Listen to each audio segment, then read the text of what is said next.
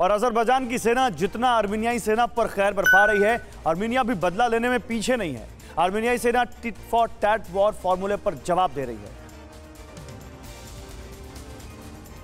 आसमान में तबाह हुआ ये A N two aircraft Azerbaijan सेना का है, जिसे आर्मीनियाई सेना ने एयर डिफेंस मिसाइल सिस्टम से उड़ा दिया।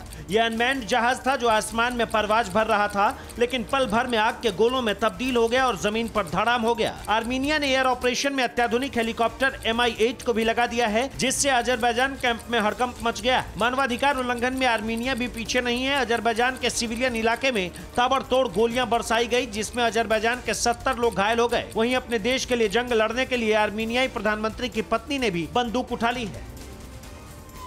और इस बीच इस भीषण युद्ध को लेकर एक और बड़ी खबर, काराबाग बॉर्डर पर। ईरानी सैनिकों की संख्या बढ़ गई है। युद्ध और बड़ा होता जा रहा है। आप समझिए, अजरबैजान के खिलाफ ईरानी सैनिक तैनात हैं।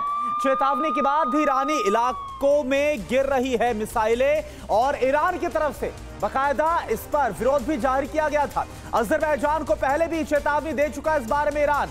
और आर्मेनिया के साथ जो बॉर्डर लगता है, वहाँ पर बड़ी संख्या में ईरानी सैनिकों की तादाद हो गई है। फ़िक्र आपकी।